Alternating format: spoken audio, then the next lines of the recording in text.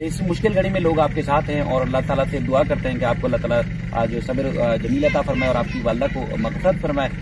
बच्चों के लिए वालदा आपकी बेहद परेशान थी और जब आप चूँकि पिछली दफ़ा कराची से आए थे तो आपने कहा था कि वो बात तक नहीं कर पा रही क्योंकि उनकी कूल्हे की हड्डी फ्रैक्चर कर गई थी और उसके बाद फिर चलना फिरना उनका मुश्किल हो गया था।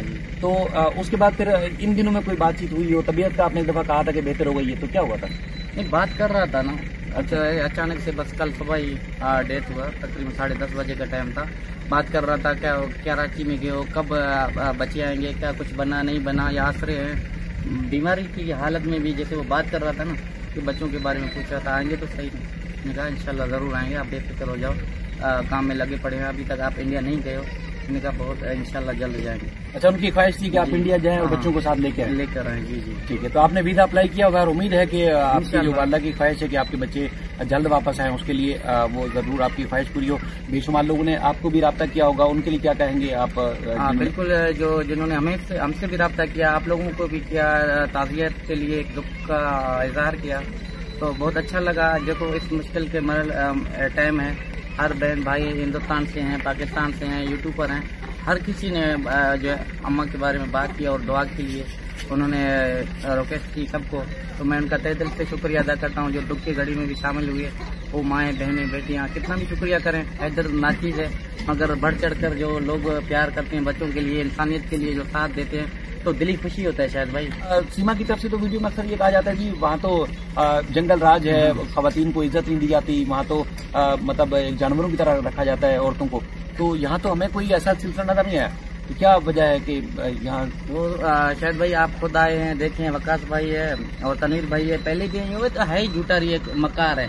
वो झूठ के अलावा कुछ आज तक उन्होंने कोई सच्चाई बोली नहीं है। कभी भी ना नहीं बोला है। भूल कर भी सच्चाई आज तक नहीं बोला है। सिर्फ़ इंडिया के कुछ लोग उनके साथ हैं, उनको धोखे में रखा हुआ है तो ये ऐसे हैं, ये वैसे हैं, जो गलत हैं। आप खुद आए हो घूम रहे हो, फिर रहे हो, कह रहे हैं डकेत हैं क्रिमिनल हैं। आपको कुछ ऐसा नज़र आया सुबह से?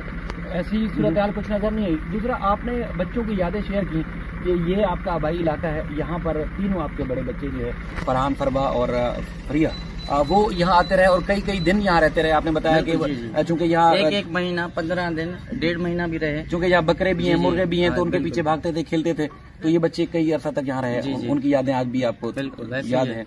और बच्चों की दादी चलेगी। बच्चों को दादी के बारे में पता तो होगा। बच्चे अगर ये वीडियो देखते हैं तो आप उनको क्या पैगाम देंगे? देखो बच्चे छोटे हैं उनका अभी जहन उन्होंने क्या किया? मगर ज़ाहिर सी बात है बच्चे पहचानेंगे दादी है उनकी अम्मा था जैसे अम्मा की जगह पर है। फरहान खान है परवा बतूल है, फरिया बतूल है। मुन्नी तो छोटी है फरा है, उसका नाम जैसे मुन्नी उसको कहते हैं। बच्चों को तो ज़रूर याद आएगा, मगर ये वीडियो उनको तक पहुँचता है, नहीं पहुँचता है वल्ला आलम। उनको दिखा भी देते हैं या सिर्फ़ जो है कभी कभार चैनल पे आते हैं, बच्चों को सामने करते हैं। कभी उनके हाथ में हमने मोबाइल नहीं देखा कि अपनी तरफ़ से कोई नेट वगैरह देखते होंगे। मतलब हमेशा आप पैगाम देते रहे लेकिन आपकी वीडियोस उन तक पहुँचे नहीं जाती। लेकिन ये है कि ये वीडियो ज़रूर अगर उन तक पहुँचती है कि उनकी दादी का इंतकाल हो चुका है वो फौत हो चुकी है। यकीनी तौर पर चूँकि वो आते थे जानते थे पहचानते थे तो उनको भी तकलीफ़ हो गई कि उनकी दादी अब दुनिया में नहीं रही। आज इस मुश्किल टाइम में ये वीडियो बनाने का मकसद सिर्फ़ इतना ही है कि जो लोग हकीकत नहीं जानते तो इस मुश्किल टाइम में भी वो हकीकत जान लें कि जो सीमा कह रही है, वो बुनियादी तौर पर झूठ है, वरना इनकी बहुत सारे मेहमान उस तरफ़ भी बैठे हुए हैं, जो सुबह से आ रहे हैं, क्योंकि कल ही फौत हुई है, और वो बार बार मतलब लोग आ रहे हैं जो कर जो इनसे ताजियत के लिए आ रहे हैं, जो कल नहीं पहुँच सके थे, जनाजे में तो आज भी आ रहे हैं, लेकिन हम दूसरी सेपरेट जगह पर बैठे थे, लेकिन ये कि इसके सबूत के तौर पर जिन लोगों ने ज़िम्मेदारी लगाई थी, उनको हम ये अपना जो वीडियो के ज़रिए गुलाम हैदर भाई का पैगाम पहुँचा सके और अपनी मौजूदगी का भी लोगों को बता सकें कि आपने ज़िम्मेदारी लगाई थी और हमने वो ज़िम्मेदारी पूरी की। और इनशाला गुलाम हैदर भाई के जब तक बच्चे वापस नहीं आएँगे, इसी तरह हम सब नेक नीति के साथ जिस तरह इनके साथ जुड़े हुए हैं। इसी तरह जुड़े रहेंगे अपना